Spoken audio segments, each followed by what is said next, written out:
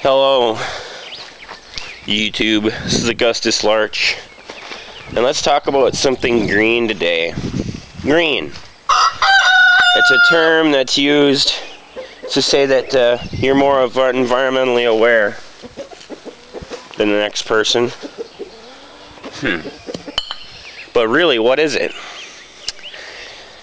It's another tool for the petroleum companies to make people believe that their products are somehow scarce, which I know they are not. Uh, it is a renewable resource. It's renewed within the earth. But I prefer other sources of electricity, but being wrong like that isn't going to get him anywhere. Okay? It's wrong when you say that oil is a non renewable resource, and it's wrong to say when you burn it, you hurt the environment. Those two things, the only people, the major groups that want you to believe that are the ones that are trying to make the oil scarce or believe that they, they need to limit its use. So what happens? Who benefits from this?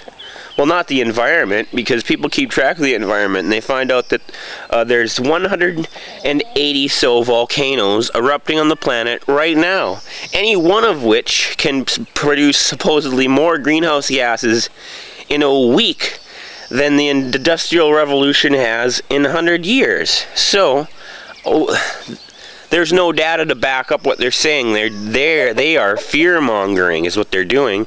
And what's the results? Who benefits the oil companies? Yeah, because they can pump less oil and charge the exact same for it. Oh, what a what, what a concept! And all they got to do is keep the word out that oh, don't destroy the environment. Oh, we're running out of the stuff so they can jack up the price. What does that mean? They got to pay less people, they got to pay for less operating facilities, they got to pay all less but charge the same. And who gets hit by this?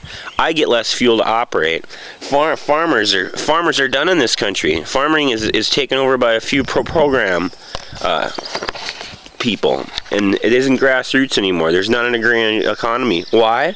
Because energy crisis. It's still going on. So when anybody says green, fill them in on logic and rationality and say, who the heck is trying to corner the market on oil? Oh, could it be the oil companies? All these environmentalists, they're most likely in the pay. Like Al Gore, I bet he gets paid well to babble his uh, excrement. It's the best thing I can call it. He's packed full to the top of his head with the stuff. So next time you want to go green, reconsider. This is Augustus Larch.